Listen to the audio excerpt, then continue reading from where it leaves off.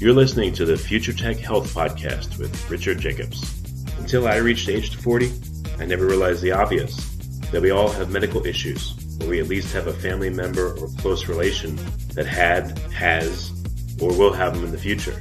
Medicine and biological systems are the final frontier.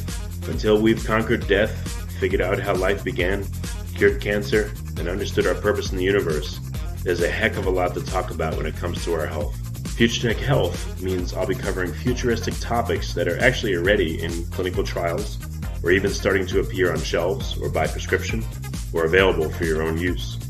We dive deep into stem cells, CRISPR Cas9, the science of sleep, epigenetics, medical testing, cancer, ketogenic diets, stem cells, aging, regenerative medicine, and more. My goal for you, the listener, is to learn from these podcasts. You may very well learn something that may change the course of your life for the better, steer you towards a new career, or give you insight into addressing a serious medical problem. Remember, however, this podcast and its content is informational in nature only. No medical, tax, legal, financial, or psychological advice is being given. If you enjoyed the podcast, please listen, subscribe, like, and share it with friends. Thank you. Hello, this is Richard Jacobs with the Future Tech Health Podcast. I have Adele Anderson. Uh, she's got a website called Life Coach Adele, A D E L E. Uh, she's, uh, I don't know. We'll, we'll, see what she has to say. So, Adele, thanks for coming. How are you doing? I'm really good. Thank you for having me. I am yeah, an NLP what... trainer, if that's what oh, you were okay. looking at. Neuro linguistic programming, gotcha. Well, okay. So for people that don't know, what what is uh, NLP? Well, NLP is a way that we can change the neural pathways within our mind. It teaches us not only how to communicate better, but how we can learn and accelerate our learning. We can actually install the excellence of others, and that sounds kind of amazing, but it works. And I can tell you the science behind that if you would like to know more about that. Yeah, definitely. Go ahead. Okay. Well, um, it was found early, and you've probably heard studies where they've taken basketball teams and they'll send half of them to their room to visualize them training, um, maybe shooting hoops, shooting from the free throw line, and the other half they take to the gym and they actually get them to physically practice. And they found through a process of visualizing in a very special way that both parts of those participants would gain skill and become better through the process. So it doesn't always have to take that we physically have to do it because our brain doesn't recognize the difference between reality and fantasy. And that's why we have different emotions when we watch movies. And if you've ever watched um, Jaws in the 70s, did you ever lift your feet up off the floor because you, you know, you had that feeling like you were going to have Jaws come past your couch? Well, I, well, I don't know if this is the same thing, but when I was little, I remember uh, probably because of stuff I saw on TV, you know, I would be afraid at night to know, have a, my leg hang over the edge of the bed, and something would come up under the bed and grab it, or you know, where the bed met the wall, if stuff fell in the crack between the two, like I think it's probably from Poltergeist, maybe the clown under the bed, but anyway. Exactly. Our our mind takes it all in, right? all of our yeah. uh, sensory experience from the moment we became conscious. So everything that we hear, smelled, taste, felt kinesthetically, or um, saw, or even uh, physically on the on our body or emotionally within our mind is all logged inside our subconscious brain. So all of this information is there and it's it's sort of accessible when we feel emotions or we a really strong one is our visual connection to it so then those memories can come back quite quickly in those situations. So what, what's an example of how NLP could be used to help somebody? What's what's an example problem that's common, and you know how does NLP help? Yeah, I do a lot of emotional trauma work. So people ha- have you know emotional baggage that's built up a trauma or a wound that's resulted from an experience they've had in their lives and they're just not getting over it. So when we understand that this little sticky neuropeptide is attached to the five most common emotional feelings that we have which are hurt anger tra- um, hurt anger sadness guilt and fear So all pretty generic stuff. And when these emotions rise up with today's experience, it brings together that powerhouse of all of those emotions that came before. So it quite often interrupts our ability to be the best that we can be. So people will come to me and I will use a process of NLP and I have to do a little bit more explaining in the way that we understand that emotions are connected with physiology. So when we have a feeling of hurt, we actually feel it physically within our body. A certain respiration, heart rate, body temperature is attached to that. We used to have to do talk therapy, but what we've learned through NLP and other like practices is that we can change the physiology while we have somebody recall that state. So if you can imagine three mm. circles on the floor, one is the recall circle, where I bring a full expression into your neocortex of what that looks like inside your body. So we give it a shape, a sound, a texture, and odor, if it has any movement or vibration or beat.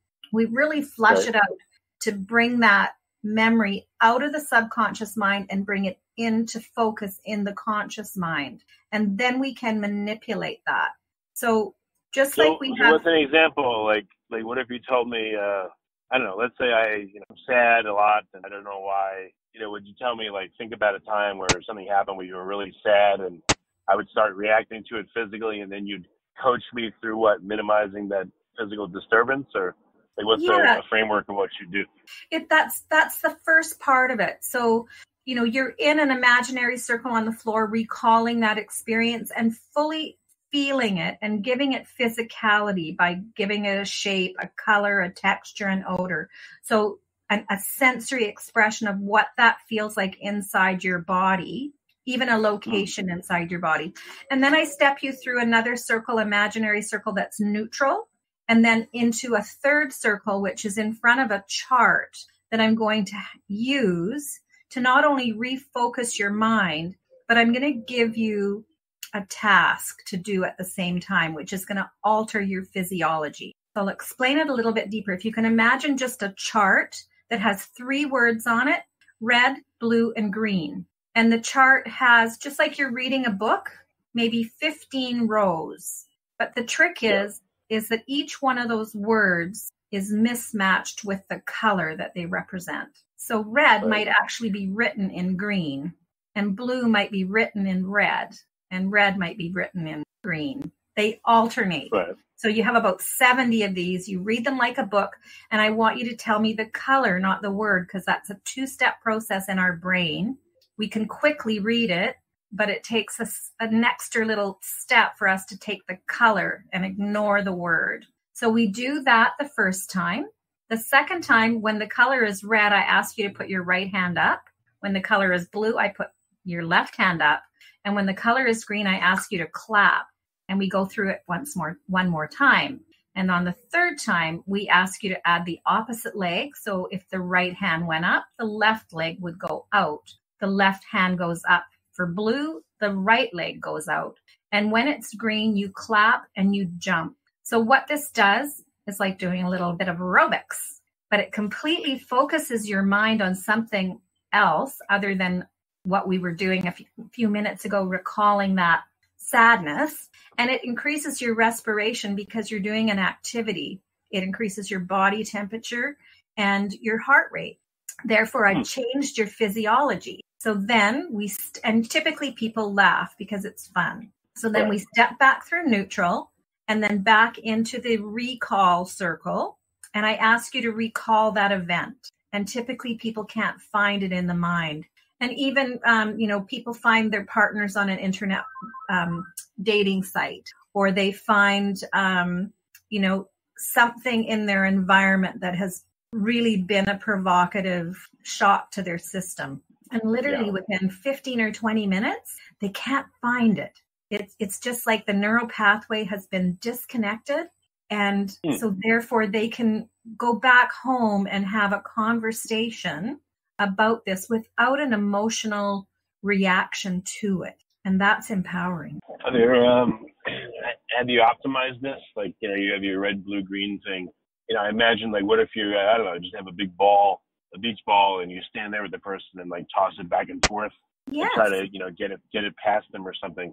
Would that work, or is that too much? Is there so is there a way of doing this where it works, or is there a way of doing this where it's too much stimulation and the person can't? It doesn't work to disconnect them from the bad feeling. It just it's just too much for them, regardless. Well, I, I tell you, I've done it in different ways. I do use balls, like bouncing balls, and we can use, and this is for, like, I've worked with children as young as five, and um, they can say colors. They don't necessarily read the words yet. I think the one boy was actually four.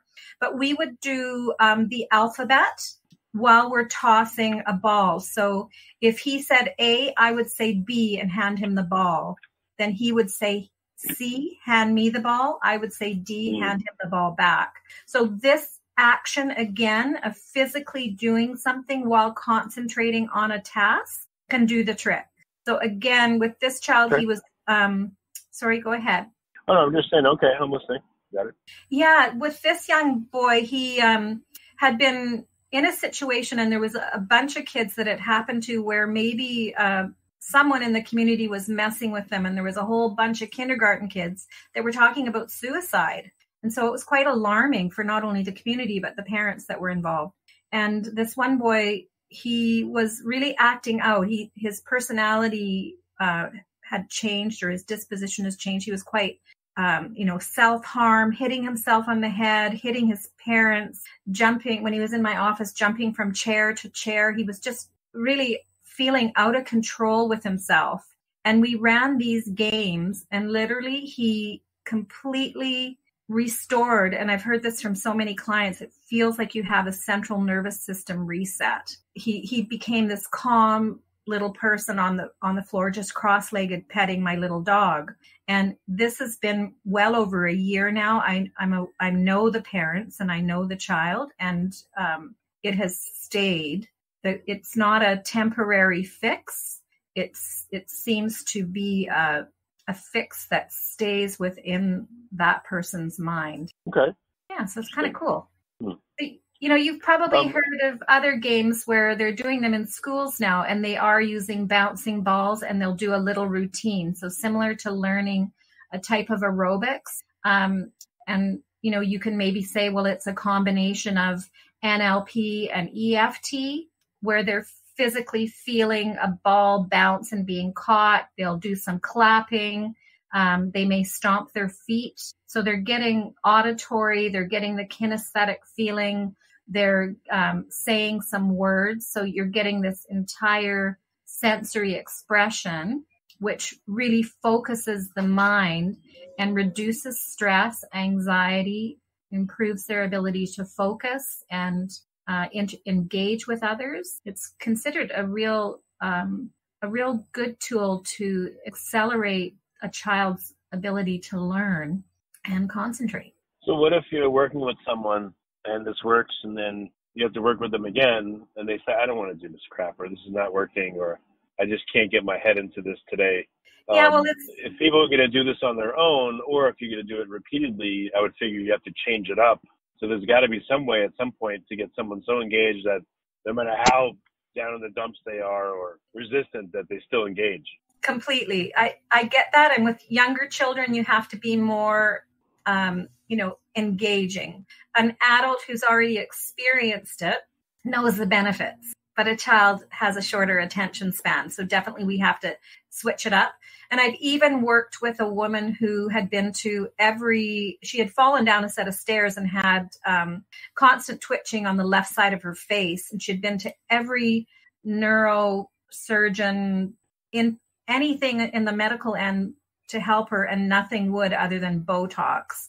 And this particular game would stop the twitching on her face it wasn't permanent, but I was really um, amazed with the amount of relief that she got through this process of focus. But, you know, NLP has hundreds of ways that we can engage um, with the mind and, you know, move or rewire those neural pathways that are interrupting our ability to be happy, to move forward in life, to just, uh, you know, reduce stress, whatever it is that you're coming for, there's, there's definitely an option within that that can, you know, help you in, in your trouble. Okay. So what, uh, I mean, I don't know, where, when you interact with clients, I know it depends on their situation, but I don't know, what, what are some of your favorite techniques? NLP sounds like, you know, the predominant one. Are there any other uh, great techniques to help people, and how is that paired with certain problems that they'll have? Yeah, if it's emotional baggage, like if it's um, you know a trauma from the past that you're not um, being able to release, and a lot of people don't want to talk about it, and they actually don't have to in this therapy. Like my background is um, in natural medicine, where we actually go back and do a lot of um, you know I hold the space and hear people's stories but with NLP, you can really do that within the mind and you don't have to necessarily verbalize it to someone else if it's too difficult. So we, um, I love to do timeline, for example. So within your mind, if I asked you to close your eyes and then ask yourself in which direction is my future and you will get an understanding if it's some people it's in front of them, some people it's above them, some people it's to their right. So everyone's individual. Then I ask the second question in which direction is your past? And again, the person will be able to indicate in which direction that is. And then within our mind, we have this visual representation, directional representation of where the past and the future is. And then we ask permission for both the conscious and the subconscious mind if they're ready to release these emotions. And when we get the nod for that, what we can do is do a visualization where I um, put you into a light state of meditation, do a, a little bit of a hypnotic induction. And then within the mind, I ask your subconscious brain to source the earliest experience in your life that holds this emotion. And then we ask you to visualize yourself rising above this timeline and floating back in time to locate that. And we look at it from three points of view. We look at the experience the first time from the post experience point of view. So looking down and forward at the event, you've already come through the event, you've safely exited the other side, or at least you are a survivor. And yeah. from there, we move above the event because we are visualizing it depending on how painful this is we could make the the vision smaller. We could change it to black and white. We can manipulate that experience in a way that makes it less frightening for someone.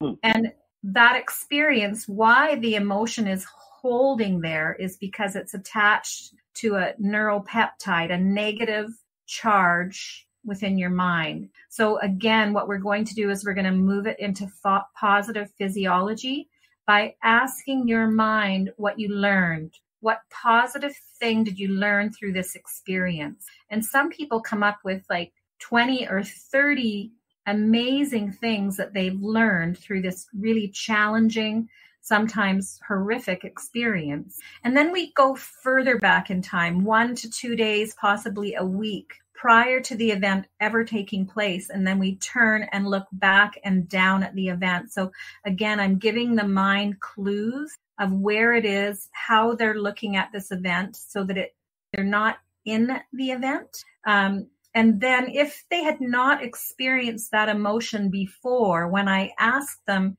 if the emotion exists in this experience, they shouldn't be able to find it because the experience logically hasn't taken place yet, right? So we're manipulating the mind. And mm-hmm. then if the answer is that they cannot feel the emotion, then we can travel forward in time, passing over that event, gathering up all of those resources that we've identified as positive takeaways, and then moving back towards the future again. And again, we stop at all of these events on our path back to today and we do the same process starting with the post event on above the the current or above the event that you're wanting to look at, and then pre event. And by doing this, we're able to release that negative experience and give them a lot of very important life skills that they take forward with them today. Um, and then we can even go further and we can take them beyond today. We can take them three months, six months, one year into the future with all mm-hmm. of the knowledge that they already have. And as that future person to visualize what their life looks like then with these new skills, with all the things that they've learned. And then visually, we have them turn around and make contact with their person today their younger person or the person who's currently there. And again, this is all done within the imagination. But as we discussed earlier with movies, our mind doesn't recognize the difference. So it takes everything at face value. So then that person can then talk to their younger self at any one of these points and take their hand and lead them forward, you know, giving themselves their own support, um, giving themselves their their future resources today. It, it's quite phenomenal what we see in change in people, uh, where you can have somebody who comes in quite traumatized in your office and they leave feeling relaxed and empowered. Yeah, it's great. yeah, it's weird. I was I was thinking like, what if you made uh, someone's trauma into like a you know a mini graphic novel? You had someone draw it up for them and show them. I wonder what that effect it would have. I imagine like the cartoon balloons and you know the characters and all that. I, I don't know if it'd be good or bad. It just came into my mind as you were speaking. Yeah, well, you know that is that is a tool that you can take a trauma like that and you can um, speed it up so that their voices sound like you've been with a helium balloon or mm-hmm. you know you can put great big funny clown shoes on them or you know a funny hat or relate it to an experience that's fun we can change colors. So if people see stress as black or gray, we can have them infuse that with yellow or pink or whatever their favorite color is. So we can manipulate how our memories work. And truthfully, science says every time we open a memory, it is changed and altered in some way. So, you know, you can see how that can take you down the garden path or it can take you down the rabbit hole. Have you ever tried to um, I don't know, have someone experience so memories that are really, really painful. Have you ever had someone try to experience parts of a memory, just the, the beginning few seconds, or maybe just the resolution? And does that have any effect on the memory? But they can't, they don't want to access the whole thing. Yeah, what we do for really painful memories is uh, disassociation. So imagine watching yourself on a television set or imagine going into a movie theater and watching a movie of yourself going through that. And if it's too painful then you can go up into the projector room and know that there is a glass window between you and that you have controls of the volume and the blurriness or the you know the all of those things are within your control. So we can even have you in the projection booth watching yourself sit in the theater, watching that person watch yourself on the movie. So, depending on how painful it is, we can use these points of disassociation to create that less real, less painful effect within the body. Hmm, okay. Yeah. Are there any type of uh, experiences or people that just for some reason it's very difficult for them to for this to work for them? Well, as with most things, they have to come through the door. so right. they have to have reached that point in their lives where they're like, I don't want to do this anymore. And, you know, I've had two calls in the last two days where they're just like, shred me open. And I was like, this isn't going to, ha- this doesn't have to be painful. And so I think a lot of people have that fear that if I take this on, I'm already in so much pain and this is just going to cause me more and mm-hmm. and i really feel that that stops a lot of people from finding the help that they need where this is this is a very kind safe environment where you will feel nurtured and cared for at least in my office so you know to have that knowledge ahead of time that what we're about to do is about freedom it's not about having you re experience the trauma that has really affected your life for a very long time. So, for people to understand that it's different, modern therapies are quite different than what they used to be. And, yeah. you know, we can, we can overcome the pain. So, uh, are people going to go through a, a time, even maybe even for a few minutes, where it is going to be really intense and bad? And they just, uh, do you prepare them if they have to do that? Or is it, I mean, is the experience difficult? Is there like a trough, a point where it's going to be really intense, but then they'll feel better on the other side? Yeah. You know, we, we do have a pre talk so that they can understand the experience that they want and they can choose whether they want to go back. And, um, you know, with some people that have been really traumatized, I give them tools before. So, for example, if I was let, if I was to ask you um, what your expression of calm was or what your expression of happiness was and to locate that in your body and tell me the shape tell me the color tell me the texture how big is it? You know what does it do? Is is there movement to it? Is there a, a pulse or a vibration a sound? A, you know we we flush it out like it was a real object and then we can actually take that outside of the body and we can manipulate it so quite often i would take you know, I can think of one client who it was the death of her, her, her brother had committed suicide and she still carried this black ball inside of her gut every single day. It never left her. And so we, you know, we create that physical identification within the mind and then we change it. So, for example, if it's spinning to the right, I might ask them to spin it to the left. If it's feeling like it's going to drop, I'll ask them to throw it in the air. And quite often I throw it, have them throw it up very high in the atmosphere. So it's a meditation where you see it moving up through the blue sky, through the white clouds, over the, you know, the tree topped mountains, you know, feeling the wind moving through the atmosphere, passing above planes, moving outside of our atmosphere, past the moon, circling the moon, and then finding its way back like a feather, you know, flowing back and forth, finding its its way home. And then we bring that vision back and it lands in their hand. And then I ask them, what does it look like now? And it continually changes with each one of those that it might take us a dozen efforts to move this energy. But I can tell you, I've done it so many times that it always ends up as bright white love, light and love. And then we take that and we put it back into the body so that we have altered it um, forever. So they can take the love that they had in this situation and hold that, hold that space within their body, but not the pain of having somebody, you know, tragically take their own life. Okay. Okay. Yeah. Makes sense. Yeah. So what's the uh, how can people engage with you? I mean, you know, do well, they have to be local? Can they engage with you over Skype or phone or what's how do you yeah. work? I use Zoom. I, I mean, I do have Skype, but I find Zoom has the capacity for me to record the session. We can both see ourselves on the screen.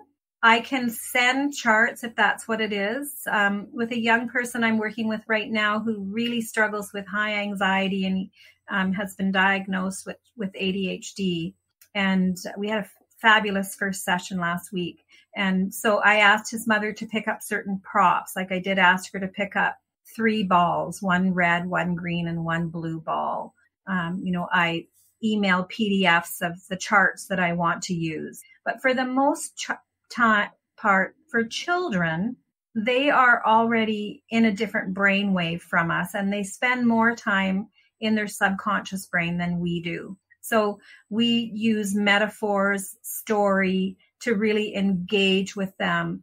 Um, you know, having them understand a concept by relating it to something they already know. So I may study the movies that they like or the video games that they like to play.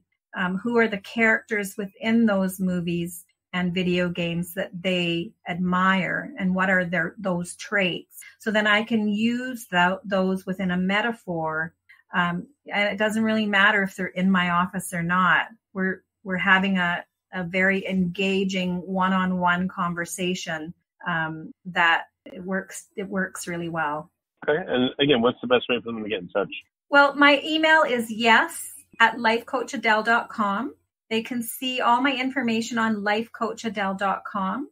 I do lots of live events on Facebook. So I am your destiny coach. We'll get you to my Facebook page. Um, for business people, Adele Anderson is my LinkedIn profile. Um, so there's lots of ways for people to reach me. And then probably on your info, I may have that um, as a link for them.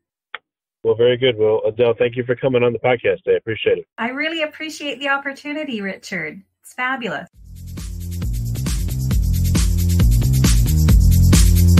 You're listening to the Future Tech Health Podcast with Richard Jacobs. Until I reached age 40, I never realized the obvious that we all have medical issues, or we at least have a family member or close relation that had, has, or will have them in the future. Medicine and biological systems are the final frontier.